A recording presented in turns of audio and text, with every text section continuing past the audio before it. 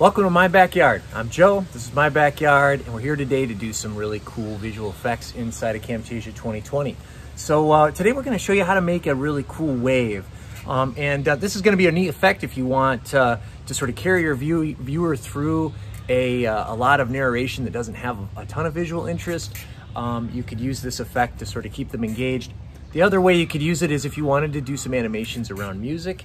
Um, there's a lot of creative possibility with this technique, but I'll show you how easy it is to do entirely in Camtasia. So let's go ahead and dive in. So first thing I'm gonna do is open up the annotations bin. I'm gonna go over to shapes and I'm just gonna grab a, a circle and, and, really any one is gonna do. Um, and I'm gonna go ahead and, and squish it a bit. And, uh, and you know what, I might even make it a little bigger okay? And I'm gonna go ahead and bring the opacity down to zero on the fill.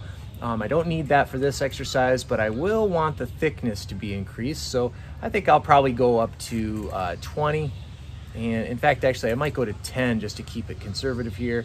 And, uh, and let's go ahead, once we, once we have our shape about right, which I'll say that looks pretty good to me, I'm gonna copy and paste, and I'm just gonna move this over until I have things looking like they're pretty vi visually intersecting, okay? So uh, I'm gonna go ahead and nudge that around until things look about right to the eye. And, uh, and then I'm just gonna repeat this technique. So I'm gonna copy and paste, and I'm gonna move this over again until things look like they're intersecting. not too concerned about, you know, getting it perfect, but I'll do this technique one more time. Copy, paste, and I'm gonna go ahead and make sure things intersect.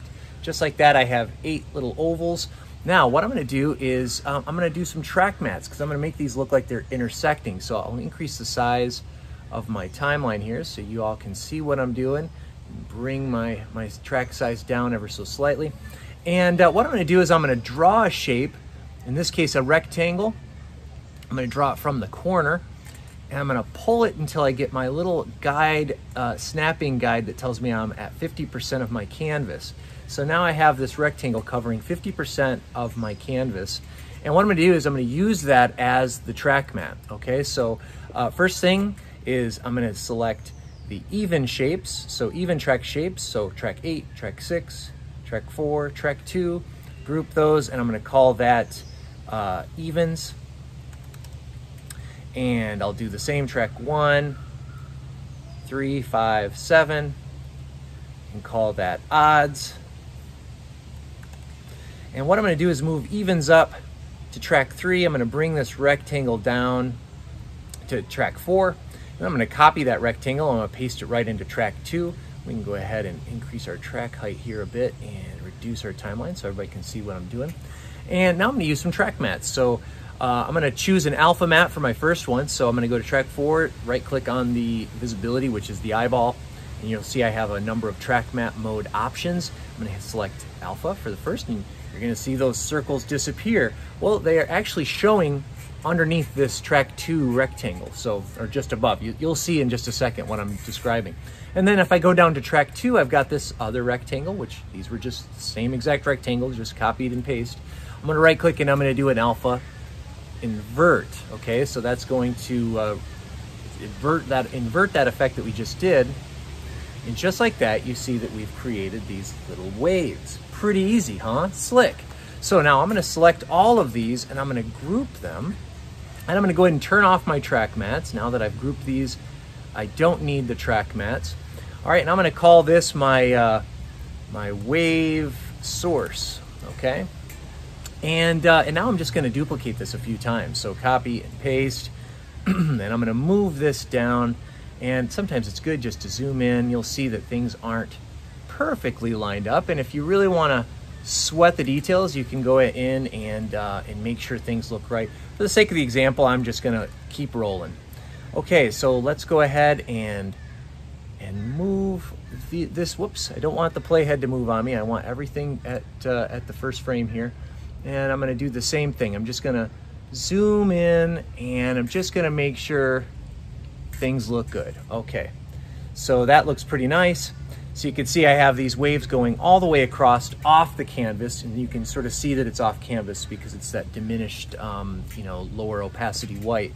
Uh, but what I'm gonna do is I'm actually gonna group these up Um, and probably the simplest way uh, to do this animation would be to just apply the animation to all of these. So, you know, before we group them, I'll show you how to do this. So, so there's one less step. Uh, I'm gonna go ahead and open up the animations bin and I'm gonna go ahead with all of these waves selected, I'm gonna go ahead and pull down a custom animation and I'm gonna make sure that those go the entire span of the clip. In fact, you know what? Let's go ahead and make all of these span, let's go to like, you know, 15, 16, 17 seconds.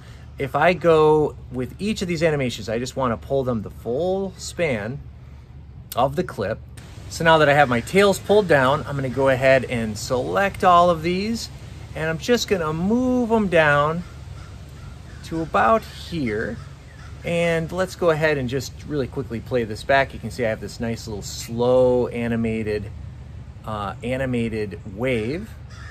All right, it's pretty basic, you know, but it, you kind of get the gist. So you're able to bring this to life quickly, but there is a really easy way to make this effect uh, pretty, pretty dynamic. So it's simple. I'm gonna go ahead and select all of those groups and I'm gonna group them now. And let's just call this uh, waves and I'm just gonna move the group over until I get the edge of the group line to the center snap line in Camtasia. Now, I'm just gonna zoom in and watch what happens when I do that move. Now you can see the wave is, is coming from that center line. And it's a really cool effect. It almost looks like that line is being drawn um, as, as the wave unfolds. So a really dynamic way to add some expression. Now, if you want to add this up, amp it up just a little bit, uh, what you could do is just duplicate this wave effect. So I'll copy and paste. And, uh, and you know what I'll do is I'll just move it down ever so slightly. So the second one is down. And now if I play this back, check out how cool that looks. So another cool way you could do this is you could go ahead and move one forward slightly. And uh, in fact, let's make another one. And we'll move that one forward as well. And if we just go back to zero and play, watch how this looks. A really cool effect. You can see how easy it is to achieve. If you want to even go to the next level with this one, you can start to add some behaviors. You can do some cool fades. Uh, what I'll show you here is there are some neat things you can do with color tint. So if I go to visual effects, I can just start dropping color tints down and, uh, and I can apply different colors with those color tints. So like if I go to the second one here, uh, I'll choose my, my indigo and I'm gonna go ahead and, and make the intensity 100 and intensity 100. And on this last one, I might actually remove the effect so you have the white and, uh, and just check out how easy it is to make this really dynamic visual effect. Uh, this is motion graphics and it didn't take long. We're here, uh, we're here doing this just nice and easily in Camtasia. Uh, you can kind of get a sense of the possibilities with just a little bit of creative, um, you know, exploration. So I hope you learned something in this video. Be sure to like and subscribe. And if you have questions, leave them in the comments below. Uh, if there's a video you're itching to see me make, I'll go ahead and make it. I've got a few more in the docket, but I'm always happy to answer questions. So good luck and enjoy.